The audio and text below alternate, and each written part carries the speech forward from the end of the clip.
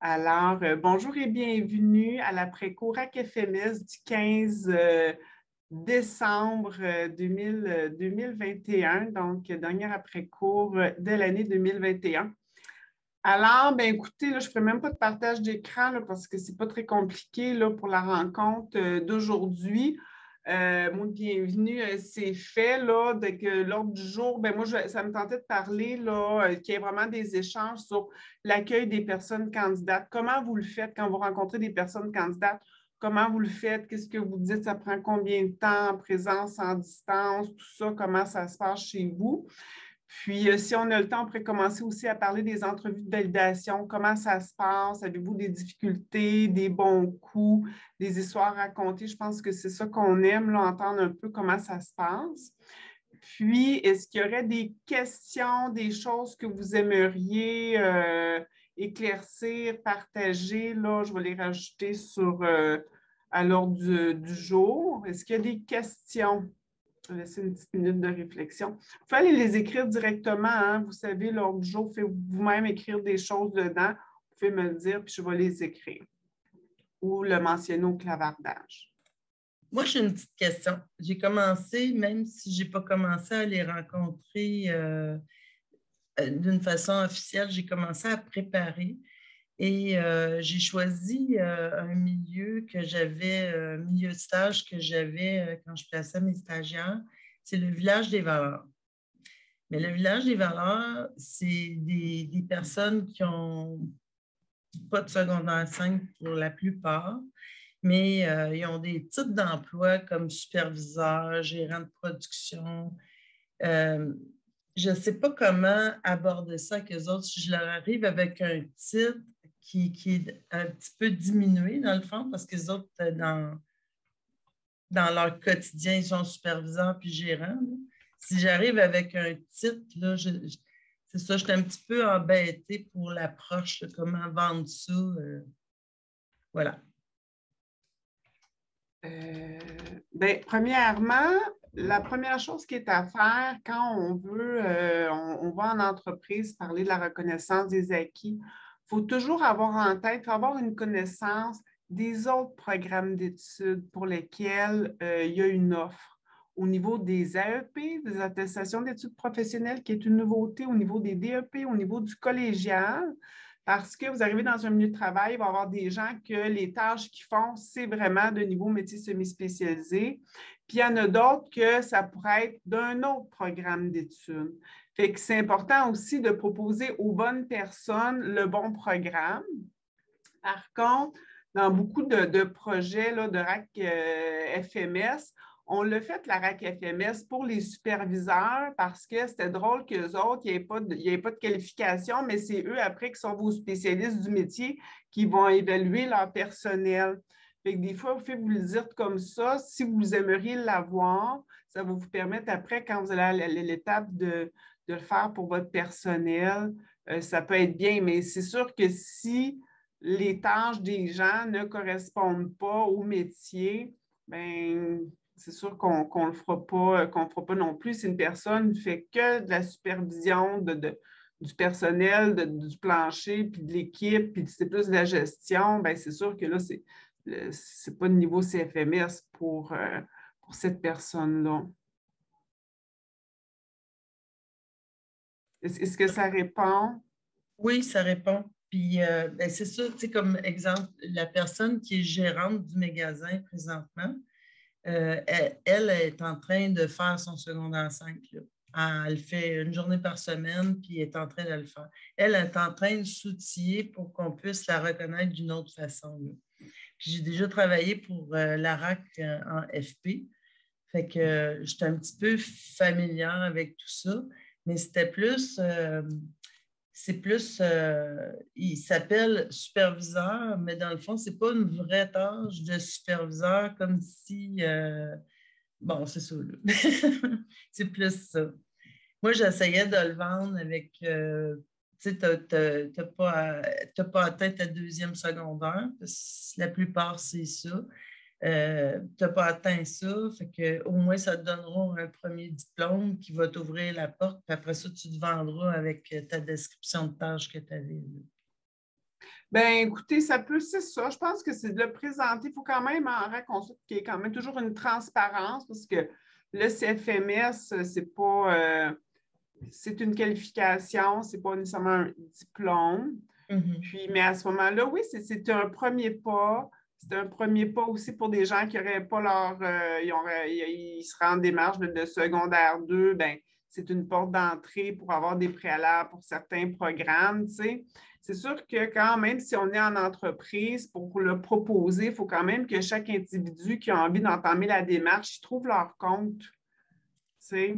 Fait qu'il y a ça aussi, ça se peut qu'il y ait des gens qui disent ben, ça n'a pas de sens, c'est pas ça que je fais. Puis à ce moment-là, on doit respecter aussi euh, leur décision, tout, euh, tout simplement. Mais c'est sûr, des fois, surtout dans le commerce au détail, là, des, des, des, euh, des- des superviseurs, tout ça, parce que des fois, selon si la personne est gérante du magasin, mais si elle fait beaucoup de ventes, ben, à ce moment-là, c'est peut-être aussi le programme vente conseil qu'on pourrait regarder. Fait qu'il y a une bonne analyse euh, des programmes, une bonne connaissance des programmes à avoir tout à fait, puis toujours rester en lien. Là, vous avez déjà été conseillère en FP, c'est un, un beau, un beau chapeau, c'est une belle carte euh, à votre main. Par contre, ceux qui les connaissent, qui ne connaissent rien de la RAC en FP, peut-être d'aller prendre, de, de- de faire un lien, d'aller rencontrer vos conseillers RAC en FP juste pour dire qu'est-ce que vous faites, puis connaître les programmes, puis tout ça, ça peut être, ça peut être super intéressant. Ben, merci, vous répondez bien. Moi, mon- ma principale inquiétude, c'était de ne pas euh, les froisser. Ben, c'est ça. Ben, tu sais, il faut, faut dire, ben, c'est quoi ce diplôme-là? Qu'est-ce que ça va reconnaître? Ça va être ça. Il ne faut pas non plus le surévaluer. Qu'est-ce que ça va reconnaître? C'est ces tâches-là. Puis, euh, mais quand même, ça, ça peut permettre une passerelle pour euh, certains programmes. Puis après ça, ben aussi, ça permet, si vous l'avez, puis après, vous, ça peut aider à votre personnel aussi de, de, le mettre en place. Mais oui, il peut avoir peut-être certaines, euh, certaines sensibilités. Mais on s'appelle hein, la définition d'un métier semi-spécialisé dans le répertoire. Quand on voit la définition, hein, c'est un, c'est des tâches simples et répétitives. Là, on ne va pas se dire de mensonges. C'est ça, la... il y a quand même des fois, il y a des choses qu'il faut savoir, puis c'est important, puis c'est plutôt de, c'est une répétition qui se fait parfaitement à chaque fois. C'est ça le défi du métier semi-spécialisé. À chaque fois, de, que ça soit super bien fait, c'est c'est- c'est dans cette assiduité-là, dans la nature de la tâche, qui fait, euh, qui fait qu'on doit, on doit valoriser là, ces gens-là aussi. Hmm. Merci. Bien, merci beaucoup.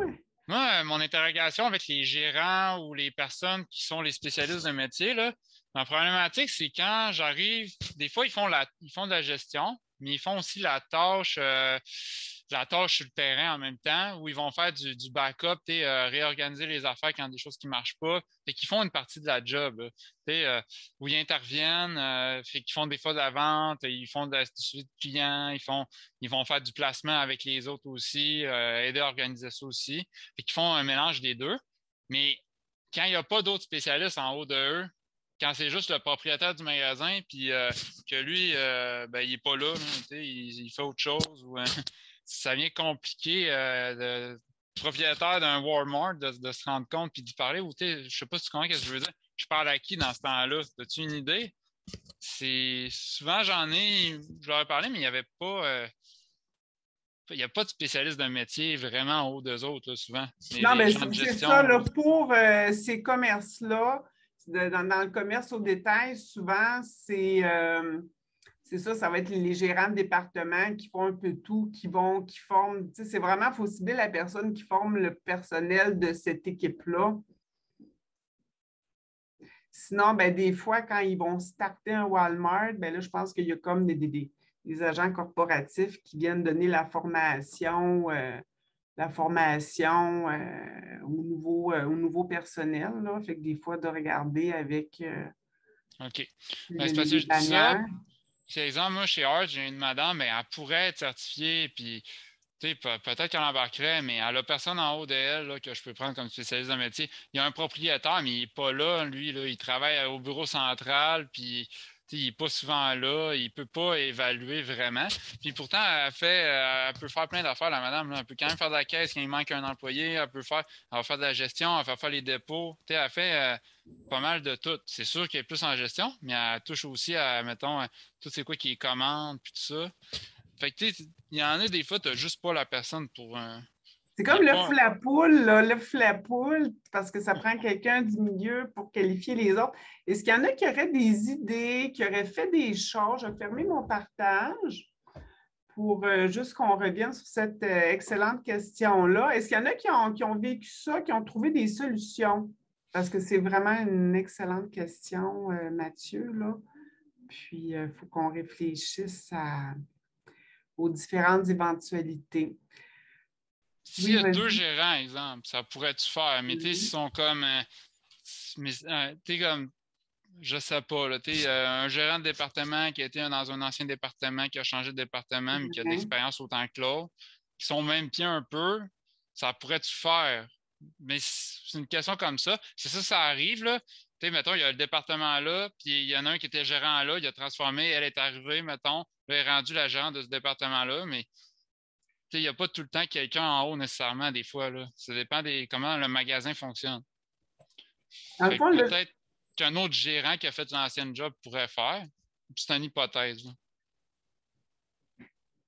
On a Hélène qui a levé la main. Je trouve que, c'est Mathieu, ton nom, je trouve que tu traduis très bien euh, ce, que je, ce que je veux dire. Tu comme euh, moi, j'ai affaire à ce que je constate, c'est qu'ils ont des superviseurs au-dessus d'eux autres, puis ils ont un bureau chef aussi. Fait que dans le fond, ils n'ont pas vraiment d'autonomie, mais on leur donne des titres, puis on leur fait croire qu'ils sont importants, mais ils n'ont pas le salaire qui accote ça, euh, ni rien. Puis, tu sais, en même temps, qui on est, nous, pour juger de ça? Ça a toujours fonctionné comme ça. Fait que c'est, là ma crainte, moi, de ne pas euh, froisser personne. C'est de la mm. gestion, mais je le mets en guillemets parce que c'est de la gestion qui est supervisée. dans le fond, ils peuvent pas, ils n'ont pas la liberté de prendre des décisions. Voilà. Dans le guide administratif, là, à la page euh, environ, je pense que c'est 13, euh, c'est dans la partie rencontre avec l'employeur, on parle un peu du spécialiste du métier qu'est-ce qu'on avait écrit, c'est qu'une personne peut être spécialiste de plus d'un métier. Elle peut occuper un poste de gestion, de coordination ou de formation, ou encore être un membre du personnel reconnu comme compétent par l'entreprise. C'est sûr qu'à ce moment-là, ben, il va falloir un peu. Fait que ça pourrait être aussi s'il y a une, quelqu'un qui est, qui quand même sur le plancher, là, qui n'a pas de poste de coordination, mais qui est là depuis cinq ans puis qui est super bon puis qui, tu sais, dans le fond, c'est une personne reconnue qui fait bien ses tâches. Fait que là, il pourrait un petit peu euh, s'entre-évaluer. C'est pas le. il n'y aura pas de solution magique dans des situations qu'on doit quand même s'appuyer sur une ressource dans le milieu de travail si on veut euh, partir, euh, partir le bal. C'est sûr, si, l'employeur, lui, n'est pas. des fois, c'est ça, il faut que ça parte du propriétaire. Ou sinon, des fois, c'est de voir des personnes de d'autres magasins s'ils ont certaines collaborations. Ça pourrait être quelque chose comme ça euh, aussi.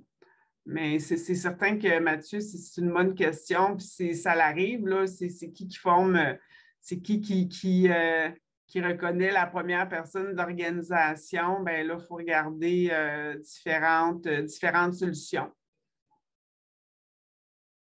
J'ai l'impression d'avoir pas vraiment répondu. Est-ce que ça va, Mathieu? Est-ce que ça, t'a aidé un petit peu? Je ne sais pas, vas-y. Ben, il y a des situations qui n'ont pas de réponse parfaite. Là. fait que c'est ça.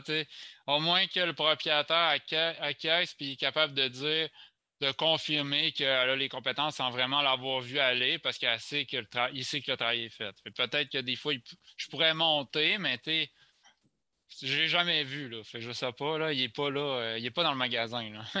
c'est sûr que, tu sais, quand même, il faudrait que tu essaies de rencontrer le propriétaire pour lui demander. C'est sûr que, tu sais, quand tu veux faire quand même un projet de RAC FMS, il faut que, faut que le, propriétaire, en tout cas les, hauts responsables, euh, souhaitent s'engager dans cette démarche-là, parce qu'il y a quand même un petit peu de libération de personnel. C'est certain que moi, je ne suggère pas s'il n'y a pas eu d'entrevue de validation, s'il n'y a pas eu vraiment d'utilisation du cahier d'observation des compétences, je ne recommande pas qu'on sanctionne un CFMS juste sur foi que le propriétaire il dit ah, je sais qui est bon. Ça, c'est pas partie, euh, ça fait pas partie euh, des bonnes pratiques. Là, des fois, je veux dire, ils sont tellement occupés qu'on sent mal des dérangés. Mais là, dans le fond, c'est le propriétaire qui va bénéficier, si on fait tout le monde, qui vont bénéficier des gens qui vont être reconnus. Il y a des avantages à ça. Que des fois, c'est de prendre le temps d'en jaser un petit peu, d'essayer justement d'avoir une rencontre. Euh, avec le propriétaire parce que ça prend un engagement de la direction pour des projets comme ça. Des fois, c'est un petit peu plus long ou sont moins accessibles.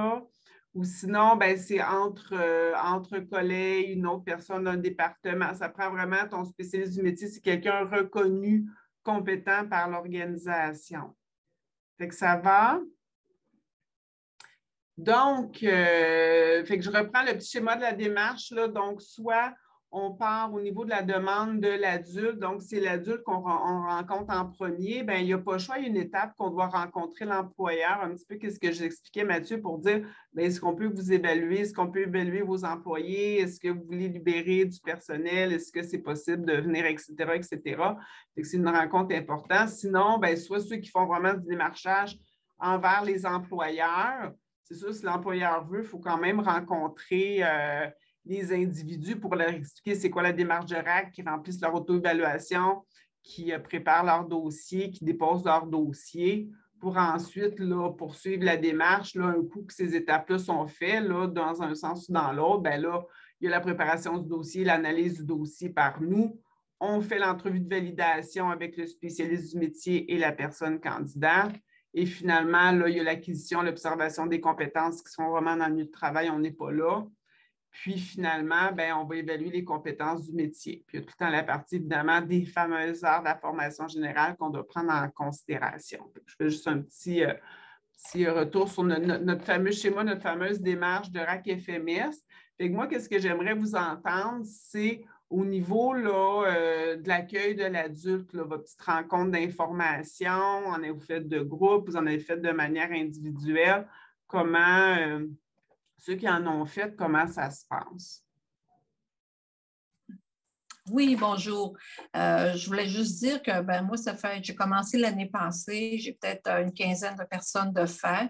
Euh, euh, c'est toujours un individuel parce qu'au départ, j'ai tenté de faire des rencontres de groupe, mais c'est difficile. Les employeurs sont obligés de payer souvent les employés à l'extérieur des heures parce que, bon, on sait, là, j'invente rien avec la pénurie de personnel.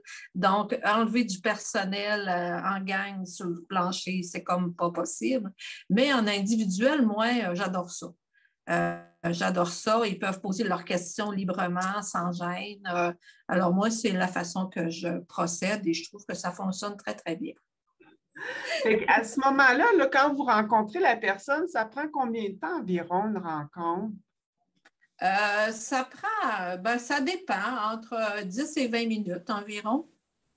C'est ce que je fais. Ben, je, présente le profil euh, du métier, je réponds aux questions, euh, je leur parle de, ce qu'il faut avoir au préalable. Je m'assure aussi du combien d'années qu'ils sont à l'emploi. même si la plupart du temps, l'employeur a déjà ciblé des gens donc ça facilite énormément la tâche. Hmm. Quand on parle, des fois, ça c'est une nuance qui est importante à faire au niveau de la RAC FMS. Il n'y a pas de préalable en RAC FMS. Par contre, il y a des conditions de sanction pour la fin au niveau de la formation générale. des fois, s'ils n'ont hmm. pas au début, ben, c'est quand même peut-être un, un parcours du combattant pour les rendre à la fin, là, pour les avoir. Mais par contre, c'est important de le dire, ce n'est pas un préalable pour être admis en RAC. je, je, le dis parce que des fois, il y a des, des, nouvelles personnes qui peuvent être là, puis c'est important cette nuance-là. Euh, la formation générale, ce n'est pas une préalable, c'est une condition pour avoir le. Et utiliser le mauvais mot. Mais j'en parle parce qu'il y a eu, euh, dans, les dernières euh, années, c'est sûr, il y a eu beaucoup de confusion entre ces deux, ces deux choses-là. Fait que des fois, je, je recadre. Fait qu'à ce moment-là, qu'est-ce que vous remettez à la personne candidate? Bien, quand il y a le, premier questionnaire là, que la personne doit remplir, euh, puis, je m'assure qu'elle comprend bien les questions. Je reste à côté d'elle. Et puis, euh, des fois, elles ne sont pas certaines, mais bon, euh, c'est ça. Avec les explications, habituellement, ça va très bien. Et comme vous dites, le questionnaire, c'est l'auto-évaluation. Oui, l'auto-évaluation. Habituellement, je le fais en même temps. Là. Tu sais, je fais la première rencontre, l'accueil, comme pour un peu rentabiliser mon temps, mon déplacement. Mm. Puis une fois que c'est compris, accepté, puis que c'est validé avec l'employeur, je fais tout ça dans la même rencontre. On fait l'auto-évaluation pour après ramener ça à l'école et donner le dossier aux conseillers d'orientation qui vont faire les vérifications d'usage. Mm. À quel moment euh, la personne candidate va vous donner là, euh, euh, c'est le, certificat de naissance, carte d'assurance maladie, tout ça, à quel moment? À, ce moment-là aussi. Ben, souvent, c'est j'ai pris rendez-vous et je leur ai demandé au préalable d'avoir ces documents. Oui. Ouais. Fait que dans le fond, c'est un petit peu dans. À l'accueil, il y a quand même. Vous, vous faites l'accueil, mais il y a déjà. Vous commencez déjà un petit peu la préparation du dossier avec la personne. Oui, oui, on gagne du temps. Puis à ce moment-là, vous, vous avez passé vraiment par la démarche de, vous avez déjà communiqué avec l'employeur, vous avez expliqué le projet à l'employeur, puis il a dit, ces personnes-là, ça pourrait être bien. Oui. Oui, parce que ben, on n'a comme pas le choix, tu sais, euh, c'est préférable qu'ils aient eux-mêmes ciblé, euh, ciblé des, euh, des gens les, les, plus expérimentés. Puis alors, on passe le message d'avoir carte d'assurance maladie ou certificat de naissance ou les bulletins ou euh, peu importe. C'est ça. Fait que dans le fond, après ça, là, vous prenez vos photocopies, puis oui. vous leur, leur laissez leur, leurs documents dans les mains, vous allez prendre les photocopies, puis euh, vous allez avoir là, déjà votre dossier complet. Est-ce que vous faites remplir une fiche d'inscription euh, du centre FGA? oui. ce qu'on ne faisait pas l'année passée, puis là, ben, on a comme vu aussi qu'il fallait faire un profil maintenant. J'ai dû manquer un après-coup parce qu'on ne le savait pas. Alors maintenant, on a rectifié le tir, puis on fait l'inscription, puis on fait, euh, on fait le profil également qu'on leur fait signer par la suite. Bien, c'est ça. Qu'est-ce qui est important, c'est quand vous recevez les documents pour le dossier, vous devez avoir une fiche d'inscription signée parce que là, c'est quand même, hein, vous demandez des renseignements personnels à la personne, vous allez aller ouvrir leur dossier. Fait que ça vous prend une signature, une autorisation de la personne. Le profil peut être signé suite à l'entrevue de validation, par contre, selon les, constats à l'entrevue. Euh, de validation. Donc, euh, voilà. Ben, c'est génial. Fait que c'est du 1-1. Ça vous permet d'avoir un moment avec juste la personne, la personne peut poser euh, ses questions. Oui, oui, voilà.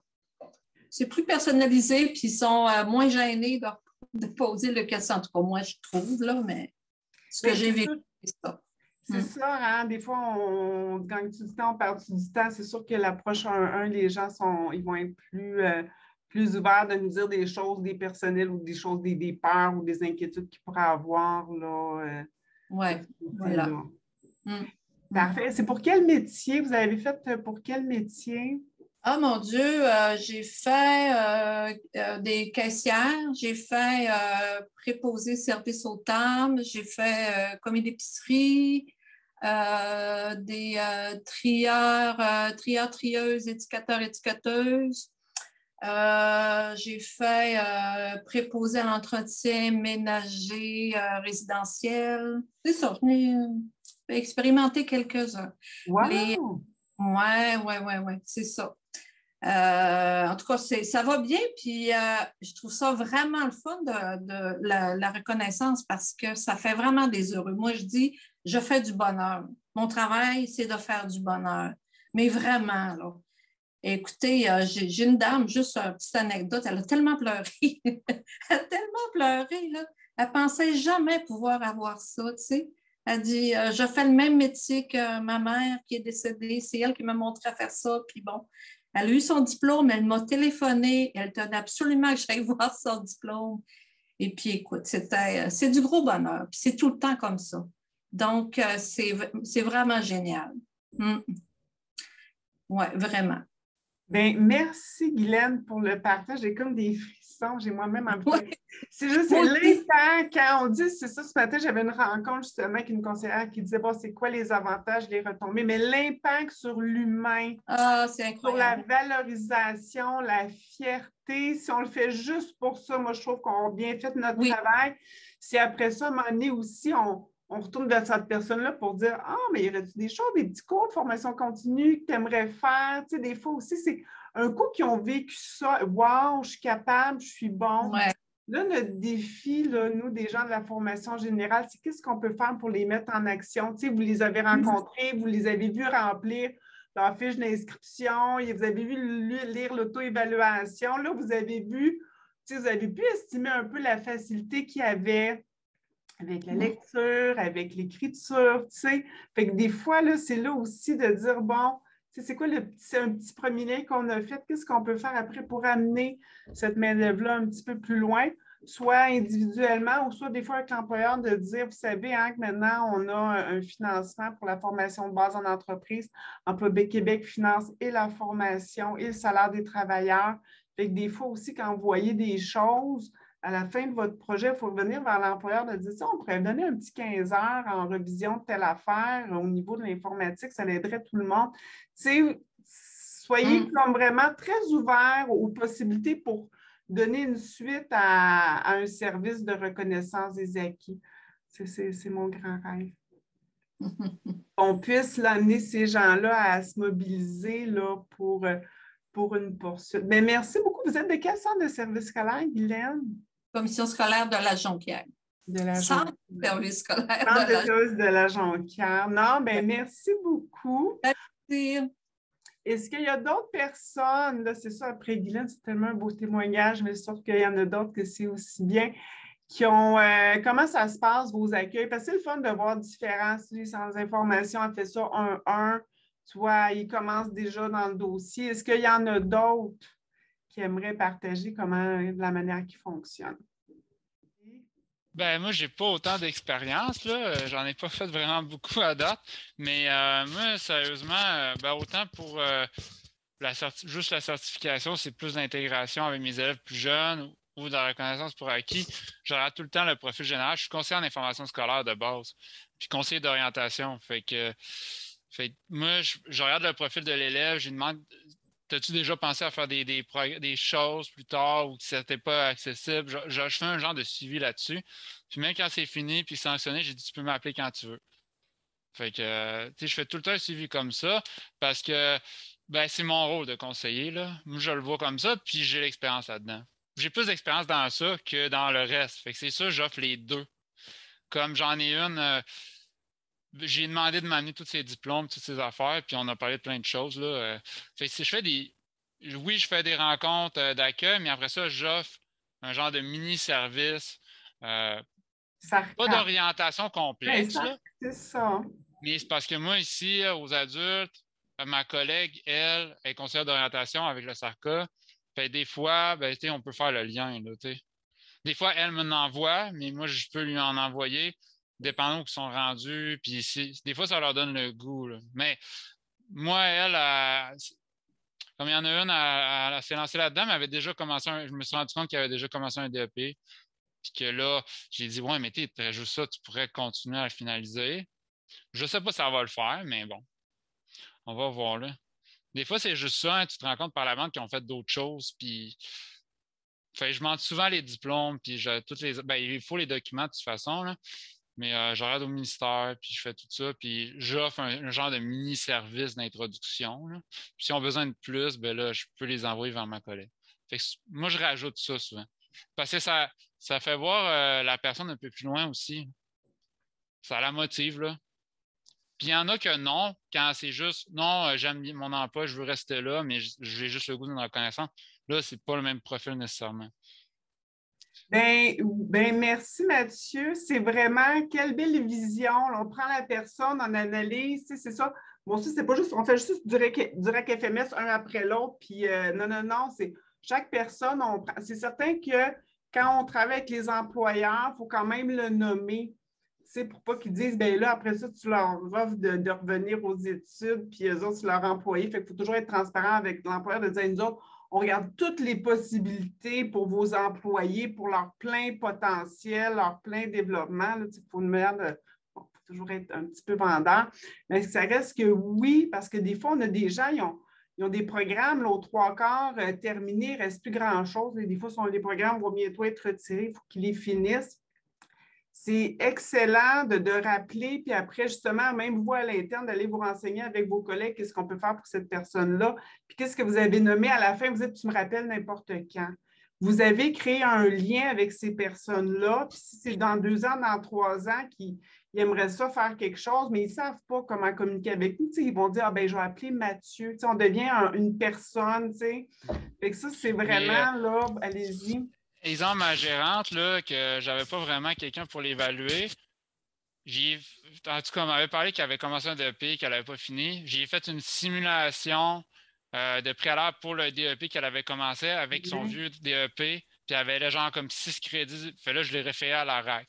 Fait comme, ah, mhm. ouais, je sais pas si ça va le faire, mais comme, moi, j'ai fait ça juste parce que comment je pourrais dire, on a travaillé en équipe, elle est ouverte, que je parle à ses employés, tout ça. Fait je fais comme l'entraider, même si je ne pouvais pas la certifier. Elle était contente là, que j'analyse tout son dossier. Puis ça m'a pris quoi, 20 minutes à faire, mais pour elle, ça a changé de quoi? Fait ça ne me surprendrait pas qu'elle finisse avec un 2P ou de quoi. Que, fait que des fois, c'est ça.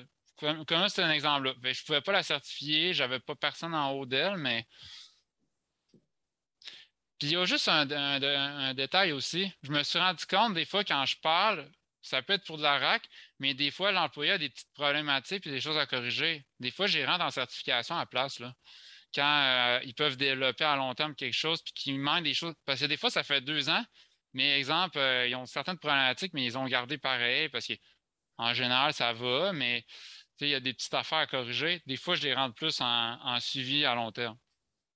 Bien, merci, Machie. En effet, il faut distinguer hein, les clientèles de c'est quoi la RAC FMS, c'est tout va bien, la personne est bonne, puis un service de formation initiale que vous allez offrir où est-ce que l'intervenant du centre de service scolaire va venir encore plus dans le milieu de travail parce que l'intégration socio-professionnelle, ils l'ont gardé, mais il y a des lacunes. Fait que ça, c'est vraiment, je veux dire, c'est besoin de plus d'accompagnement, des fois du côté. Euh, sociaux et professionnels.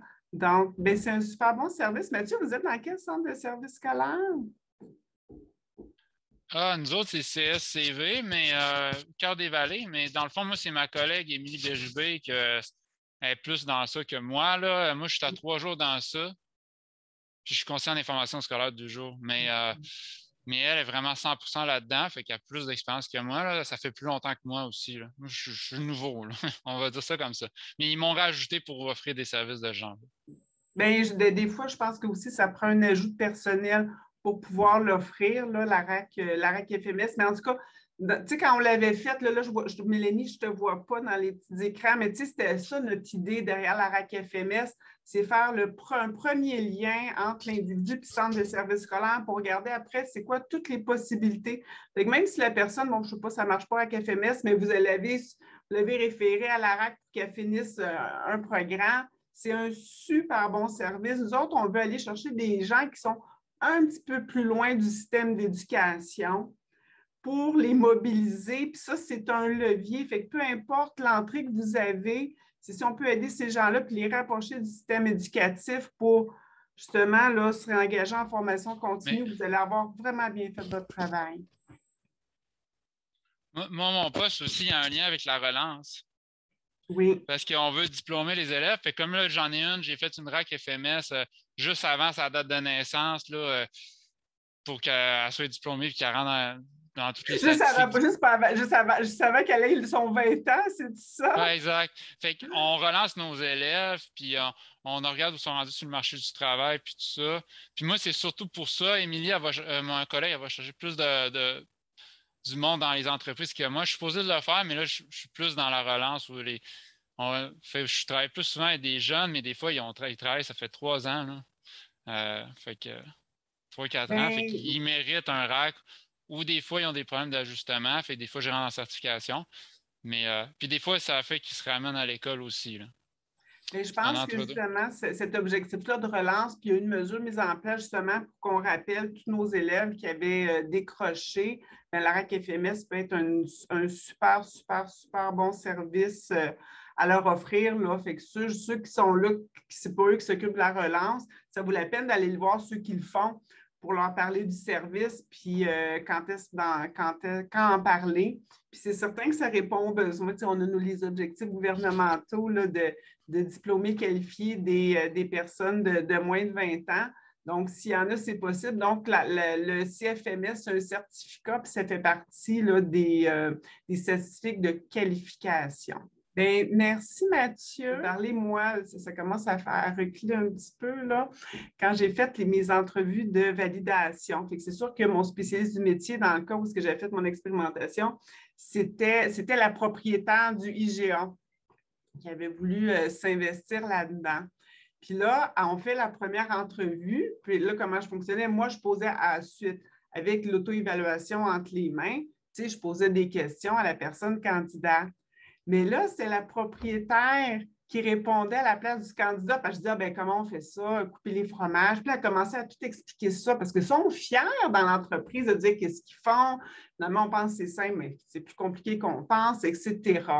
Fait que là, après la première entrevue de validation, j'ai dit à la propriétaire, j'ai dit, écoute, là, moi, mon but, c'est pas nécessairement de savoir comment on le fait, c'est de savoir comment cette personne-là le fait.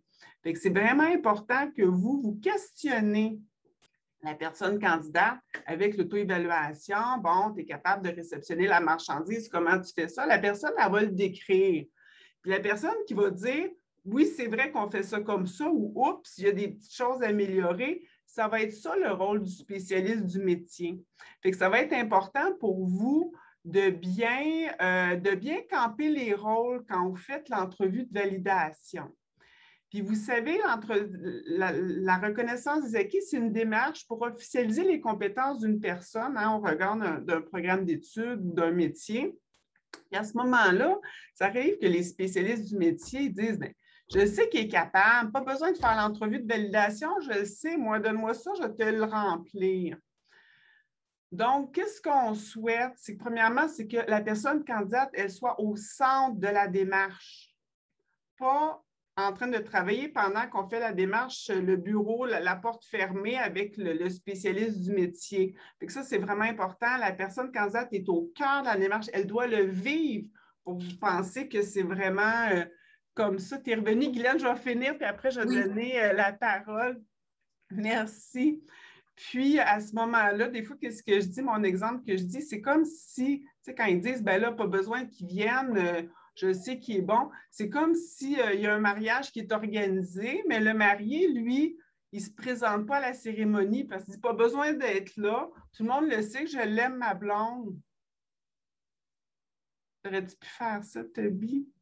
Pas venir à ton propre mariage? Ben là, c'est ça, c'est les, la personne qui la reconnaissance doit être là, elle est au cœur, même si tout le monde le sait, ben oui, ça fait 10 ans qu'on a, qu'on une maison ensemble, puis on a deux enfants, c'est pas l'exemple de Teddy, pas besoin d'être au mariage, là, je signerai après, non, mais c'est pas ça. Donc, c'est la même chose, c'est vraiment une démarche qui officialise, donc la personne doit être là, même si pour vous, vous le savez tout, nous, le centre de service scolaire, on veut le savoir, on veut l'entendre, puis c'est nous qui allons mettre le hockey final.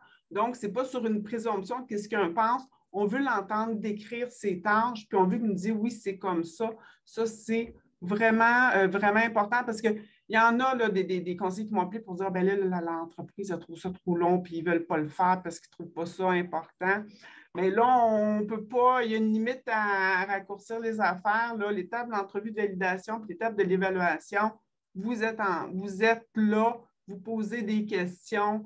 Il y a vraiment. euh, c'est important. Alors, Guylaine, Guylaine, comment ça Oui. se passe vos, vos entrevues? Ben, écoute, euh, moi, j'ai développé euh, peut-être ma, ma propre façon, là. Euh, c'est que oui, tu sais, les employeurs sont très, très occupés. Alors, moi, je passe un peu de temps. Tu sais, je prends rendez-vous avec les trois, mais je prends rendez-vous avec ma candidate avant l'employeur. peut-être une demi-heure, trois quarts d'heure avant, toute seule avec cette personne-là. Et je fais le tour un petit peu de ses tâches avec elle. Puis je lui demande de m'expliquer telle compétence, comment elle fait ça, où elle le fait, pourquoi elle fait ça. Alors, je valide toute seule avec elle avant. Parce que je sais, les employeurs, ils les connaissent depuis longtemps, puis bon, euh, ils ont l'impression de perdre leur temps. Fait que je fais une partie moins avant. Alors, quand j'arrive avec l'employeur puis qui, me dit, comme euh, tu viens de mentionner, ben, je la connais, elle fait 10 ans qu'elle fait ça, ben oui, je suis capable de dire, ouais, c'est vrai qu'elle est capable de le faire. Fait que j'ai fait une partie avant. J'ai facilité un peu euh, la tâche de l'employeur sans l'exclure, bien au contraire. Mais après, on est tous les trois et on fait le processus régulier. Ce qui est important aussi, c'est du fait que le Centre de services scolaires, vous pouvez offrir la RAC FMS pour les 132 métiers. Il y a des fois des métiers, ben, on est capable de, se douter que ça doit être pas mal comme ça, mais des fois, il va y avoir des métiers qui ont vraiment des spécificités qu'on ignore, nous, si on ne fait pas le travail, qu'on n'a pas eu de formation. C'est là euh, qu'on doit absolument avoir le spécialiste de métier pour corroborer.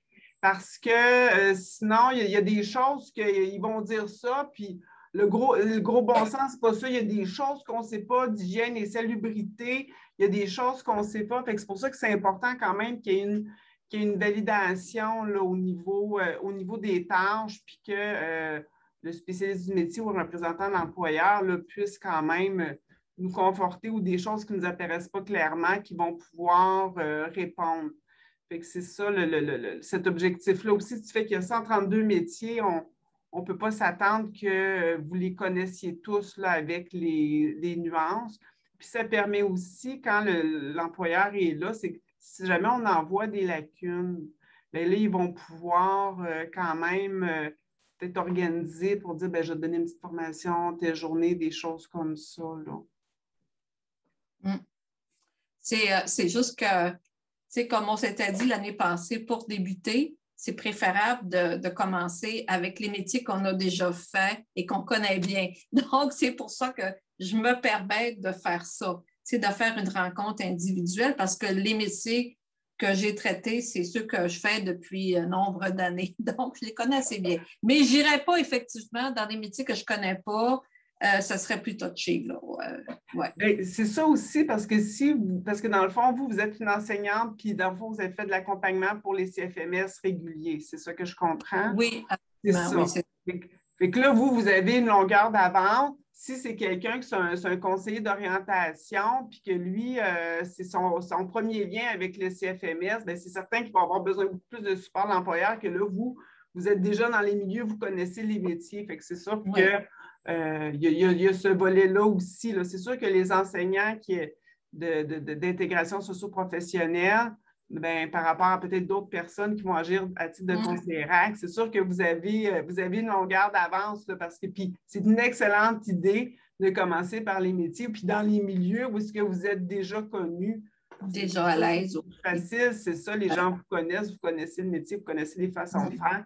C'est des excellentes, euh, c'est des excellentes stratégies. Il faut, euh, moi aussi, je m'assure parce que, comme je disais, les employeurs sont très, très occupés. Donc, il faut vraiment être flexible au niveau de nos horaires pour le rencontrer quand lui, vraiment, même si c'est à 5 heures parfois, bien, ça sera 5 heures. Il euh, faut se plier euh, aux horaires euh, des employeurs. Ça, c'est vraiment, qu'est-ce que vous dites, c'est vraiment important. Puis ceux qui sont en mise en place du service, bien, faut que faut vraiment, cette flexibilité-là, -là, c'est la base de, la, clé du succès pour, pour la RAC FMS. ne peut pas donner juste un, un mandat, un contrat, de dire une après, les mercredis après-midi, tu t'occuperas de la RAC FMS, là, ben c'est sûr qu'il n'arrivera rien. Il faut vraiment euh, être flexible dans l'horaire. Est-ce qu'il y en a d'autres qui auraient des, fait des entrevues de validation, qui auraient des questions sur cette étape-là? Donc, suite à l'entrevue, ben, on va rester, je vais rester avec vous, Guylaine. Fait que suite à l'entrevue de validation, Guylaine, euh, au niveau administratif, qu'est-ce que vous faites euh, avec le, dossier? Parce que c'est l'étape de déclaration. Comment ça fonctionne chez vous concrètement? Bien, une fois que moi, mon dossier est complété, euh, c'est les conseillères en orientation qui vont faire la suite et qui remplissent la grande feuille là, où, on coche qui, pour s'assurer qu'on a tous les documents nécessaires. Mais moi, je m'en garde une aussi, une copie, parce que moi, des fois, je peux oublier qu'il me reste le CV à aller chercher ou tel autre document. Donc, moi aussi, je me garde une copie de ça. Mais pour le reste, c'est le document qu'on appelle fiche de suivi du candidat, là, c'est ça. Oui, oui. Mais il me semble que j'ai ajouté des choses aussi pour nous, là, des, des informations, nos numéros de fiche, puis euh, tout ça, ce n'est pas inclus dans, les, euh, dans, dans, le formulaire. Alors, j'ai ajouté des informations qui, pour euh, nous, étaient peut-être importantes, là, puis qu'on, bon, pour se retrouver, là. Alors, on a complété aussi. Le numéro de fiche, c'est-tu comme un, numéro qui est donné pour vos systèmes informatiques? Oui, oui. Est-ce que tout le monde a ça, le numéro de fiche, pour identifier un individu? Parce que si jamais ça serait une donnée importante, si on pourrait regarder là, avec Mélanie pour le faire, euh, le faire ajouter, si jamais c'est quelque chose qui pourrait être important euh, pour vous. Mm-hmm. En tout cas, on le gardera en tête s'il y en a d'autres qui arrivent et disent ben oui, numéro de fiche, c'est le numéro de fiche dans, dans Jeanne, puis c'est comme ça qu'on identifie plus facilement la personne, etc., etc. Là, si jamais il y a des choses comme ça qui peuvent vous aider, là, mm. euh, Comme euh, aussi, euh, dans les documents, ce serait important d'avoir les dates qu'on rencontre les gens. Moi, je l'ai ajouté aussi, là, quand on fait la, la première auto-évaluation, quand on fait l'évaluation de validation, ben, dans, dans la fiche de suivi, il faut écrire quelle date, il faut avoir une date. Alors, quand ce n'est pas écrit initialement sur le document, la conseillère d'orientation cherche, elle nous rappelle. Nous, il faut regarder, il faut fouiller dans notre agenda quand est-ce que je suis allée. Alors, vraiment, là maintenant, j'ai ajouté euh, dans le bas de, chacun des documents la date de la rencontre. Parce que, me semble, là, c'est sûr pas le document d'auto-évaluation, mais la fiche de suivi, je, vais regarder, là, on, va, faire une petite validation. tu sais, comme euh, tu sais, dans le cahier d'observation et d'évaluation, euh, on a ajouté la date qu'on a rencontré euh, l'élève, l'enseignante qui l'a rencontré, parce que ça peut être moi, mais ça peut être quelqu'un d'autre, pour que justement la conseillère d'orientation sache à qui s'adresser. Si on est deux et trois, bon, ben là, elle ne cherche pas, elle l'a déjà sur le cahier d'observation. J'ai ajouté le nom de la conseillère parce qu'aussi, il peut y avoir deux ou trois conseillères.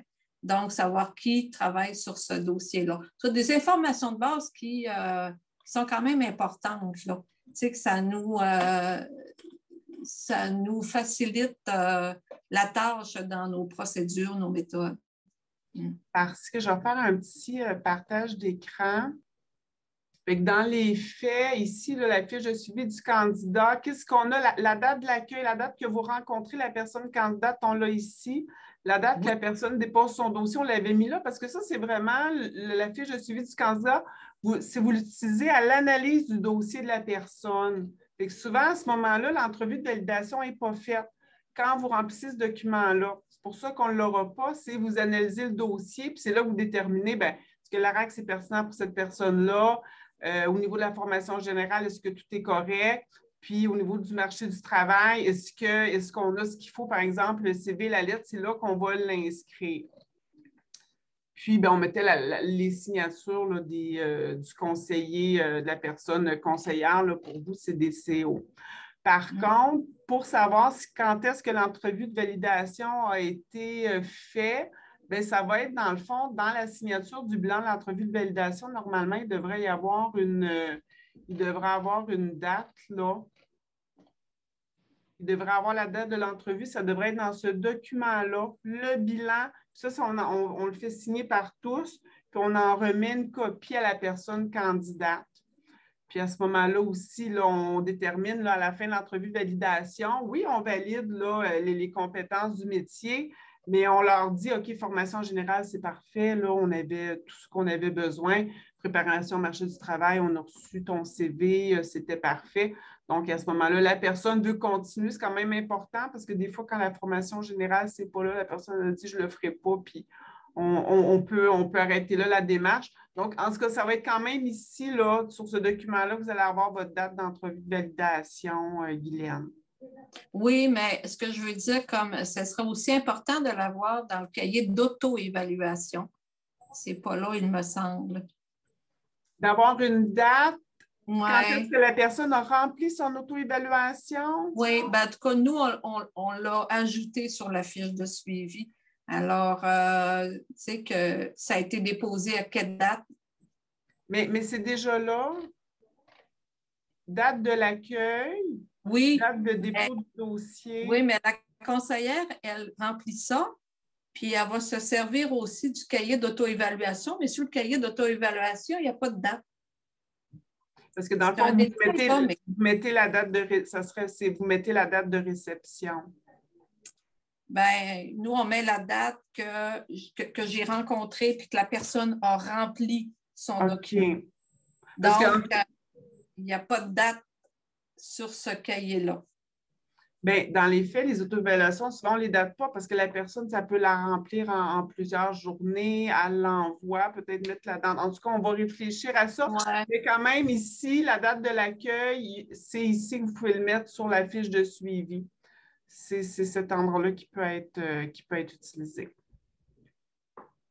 Ben, c'est toujours intéressant de voir vraiment l'utilisation de cette documentation-là qu'on a développée parce que c'est ça. Puis là, on prend en note, euh, Guylaine, votre demande. Des fois, quand les autres, vous allez l'utiliser, n'hésitez pas à se dire, c'est vrai que finalement, la date, on aimerait l'avoir. Euh, c'est bien. C'est sûr qu'on a pris le modèle de la formation professionnelle, puis, en puis euh, les, les auto-évaluations ne sont pas datées, fait qu'on a pris le même, le même modèle. Mais merci, c'est vraiment, c'est vraiment intéressant. Fait que vous, dans le fond, quand vous avez fait votre partie, vous ramenez le dossier euh, avec le, bilan signé, vous ramenez ça, puis c'est les, les CO, eux autres, qui vont, euh, avec les TOS, faire la déclaration pour la première étape suite à l'entrevue de validation. Oui. Bien, parfait. Bien, merci beaucoup. Mais en tout cas, je pense que vous êtes un, beau modèle, euh, Guylaine. Ah, merci. oui, vraiment, là, au niveau, vous vous êtes approprié ça, puis ça a vraiment mmh, l'air. C'est bien Oui. Mathieu, aviez-vous une question? Puis on, va clore là-dessus. Euh, moi, j'ai une question euh, par rapport aux déclarations suite à l'entrevue de validation. Moi, euh, je n'ai pas donné ça à ma technicienne. J'ai juste donné le dossier quand il était fini. Puis elle a tout rentré. On peut-tu faire ça légalement ou il faut obligatoirement déclarer à la, validation? C'est juste une question, là, je ne sais pas. Moi, j'ai juste remis le dossier complet. Puis, c'était correct, mais je sais pas, là, c'est une question comme ça. Ben, c'est une excellente question. Tu sais, si votre projet, c'est vraiment à, un choix interne. Par ah, exemple, si vous faites des entrevues de validation au mois de mai-juin, puis vous savez que les rencontres d'évaluation vont se faire dans l'autre année financière, peut-être mon patron va être content que tout ait été déclaré dans la bonne année parce que c'est des revenus quand même. Là. Il y a un revenu suite à l'entrevue de validation puis un revenu à l'évaluation. si ça se fait dans des semaines consécutives, puis vous dites, ben, elle le fera, euh, le fera en même temps, parce que c'est vraiment l'ouverture d'un dossier en RAC, vraiment l'inscription au ministère d'une personne qui s'inscrit en RAC, c'est suite à l'entrevue de validation. C'est l'entrevue de validation qu'on détermine est-ce que la personne, on la prend en RAC ou pas. Mais si vous dites, ben là, on fait l'entrevue de validation, puis on retourne dans deux semaines faire l'évaluation, puis ben là, on peut simplifier ça, vous, vous allez rentrer toute une fois. Par contre, maintenant qu'on demande le profil, à ce moment-là, ben, des fois, c'est le fun que les dossiers soient rentrés de la personne pour sortir le profil pour qu'elle puisse le signer suite à l'entrevue de validation. Fait que c'est à vous de voir, là, mais des fois aussi, il peut y avoir, plus le délai est grand entre l'entrevue de validation et l'évaluation finale, parce que des fois, il y a une période qui sont très, très occupées au travail, mettons, euh, la période des fêtes dans le commerce euh, d'alimentation, ben, des fois, à ce moment-là, serez-vous quand même de déclarer vos affaires euh, pas trop? Ah, OK. Parce que moi, dans le fond, je fais signer le profil après l'auto-observation parce que je la fais avec la personne. Je la fais remplir, j'y pose des questions, puis en même temps, je demande OK, dans quel contexte, tout ça. moi, je fais ça à l'auto-observation. Avec Parce que je le fais avec la personne, parce que quand je leur donne le document, c'est juste coché, puis ils prennent pas le temps de le comme ça veut rien dire, je trouve. Fait je le fais avec eux, puis après ça, je fais signer le profil quand je vois que c'est pas mal tout validé, que normalement, ça devrait être validé. C'est comme. Ben, je ne sais pas, Mélanie, si tu avais quelque chose à ajouter sur le, sur le profil. Là, je pense que l'important, c'est qu'il représente vraiment le, cheminement que la personne euh, va, va faire. C'est que des fois, à l'étape d'auto-évaluation, vous n'avez pas analysé le dossier au complet. peut-être c'est important quand vous, quand vous faites le profil, c'est parce que vous avez analysé le dossier au complet pour voir ce qui manque, puis il y, a le plan complet par rapport à la formation générale, il manquerait juste un petit peu d'anglais, puis la personne voudrait le faire, bien, ça s'inscrit à son profil qu'elle s'inscrit en anglais. c'est juste de s'assurer que vous n'aurez pas plus tard à refaire un profil parce que vous n'avez pas toutes les, informations. Mais là, à ce moment-là, je pense que c'est à, à vous de voir. OK, merci dans le fond, là, je pense qu'on a eu notre heure d'après-cours euh, va, tirer à sa fin. Écoutez, bien, premièrement, je vais vous souhaiter d'excellentes euh, vacances de Noël, beaucoup de, plaisir apparemment en petite, euh, en petite famille. Écoutez, les après-cours vont continuer après les fêtes, là, fait qu'on on va avoir des thématiques comme ça tout au long, tout au long de l'année. Donc, euh, écoutez, je vous remercie d'être là encore une fois. C'est toujours un plaisir d'entendre les bonnes, euh, les bonnes, soit les excellentes questions, les excellentes pratiques qui ont été euh, nommées aujourd'hui. Alors, merci à Richard et à Toby pour, pour le support et l'organisation de tout ça.